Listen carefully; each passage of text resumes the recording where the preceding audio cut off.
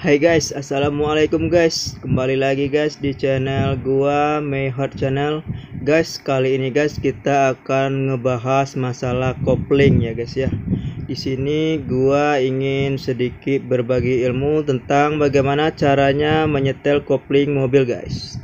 Jadi jika kopling mobil kalian itu kerendahan atau ketinggian maka gua sarankan guys kalian untuk menonton video ini sampai habis ya guys ya. Jangan di skip guys. Di sini guys untuk mobil Toyota Vios ini kalian hanya menggunakan kunci pas nomor 12 guys. Jadi kunci pas 12 kalian gunakan untuk membukanya ya guys ya. Untuk membuka mur pada penyetel kopling ini guys yaitu kalian tinggal menariknya searah jarum jam ya guys ya. Lalu setelah itu kalian kendurkan murnya dan kalian tekan sedikit pedal kopling untuk supaya kalian bebas menyetel atau memutar push rodnya guys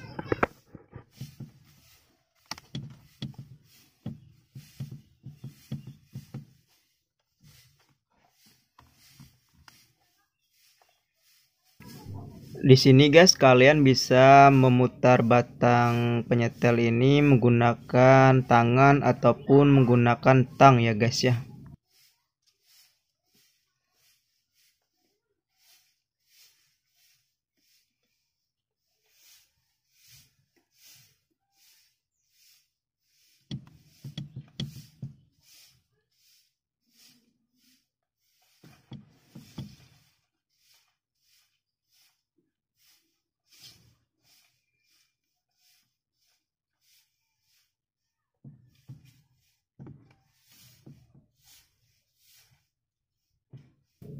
Jika kalian ingin menyetel rendah kopling kalian guys, kalian putar berlawanan jarum jam guys. Namun jika kalian ingin meninggikan kopling kalian, kalian putar searah jarum jam ya guys ya.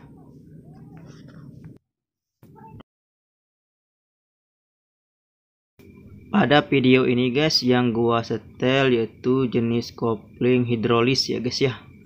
Bukan kopling mekanis.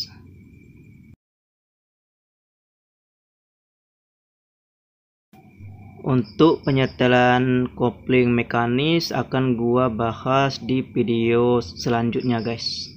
Jadi kalian nantikan saja ya.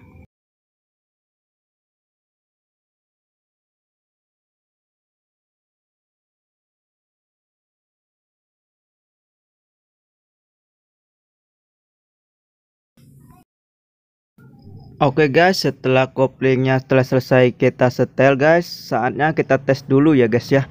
Di sini kalian boleh mengetesnya maju mundur guys atau kalian mengetesnya dengan cara mengendarainya di sekeliling rumah kalian ya guys ya. Jika dirasa setelan koplingnya belum pas, maka kalian setel lagi guys. Jika dirasa setelan koplingnya sudah pas, maka kalian harus mengencangkan mur dari penyetel kopling kalian guys. Penyetelan kopling ini guys jangan terlalu dalam maupun jangan terlalu tinggi ya guys ya. Karena kedua kesalahan tersebut bisa menyebabkan kerusakan pada mobil kalian guys setelah kopling kalian dengan pas guys. Jangan terlalu rendah maupun jangan terlalu tinggi guys. Oke guys. Dikarenakan setelan kopling gua udah pas guys maka saatnya kita kencangkan kembali guys mur penyetel dari kopling ini guys ya. Supaya setelan kopling kita tidak berubah guys Jangan terlalu kuat mengencangkan mur penyetel kopling ini guys Karena kopling pada dasarnya akan selalu berubah setelannya guys. Jadi untuk mempermudah kita penyetelan berikutnya ya guys ya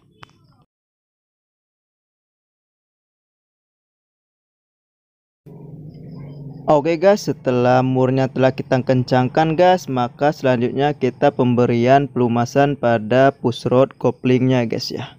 Di sini kalian bisa menggunakan oli dengan oil can atau bisa menggunakan grease atau gemuk ya guys ya. Oleskan tipis-tipis ke push rod koplingnya guys.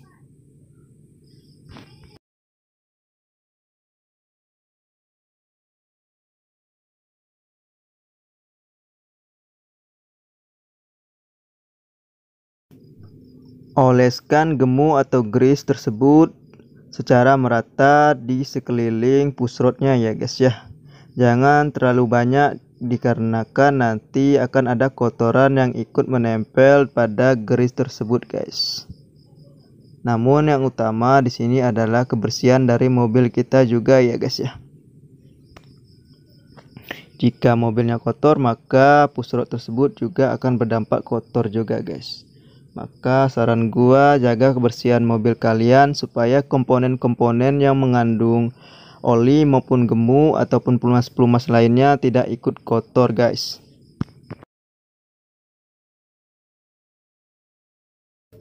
Oke guys, demikianlah guys video gua kali ini guys. Jika kalian suka dengan video ini guys, silahkan tekan tombol like-nya ya guys ya. Dan komen di kolom komentar guys. Jangan lupa juga guys share ke teman-teman kalian ya guys ya. Dan tekan tombol subscribe-nya guys. Demikianlah guys. Wassalamualaikum warahmatullahi wabarakatuh.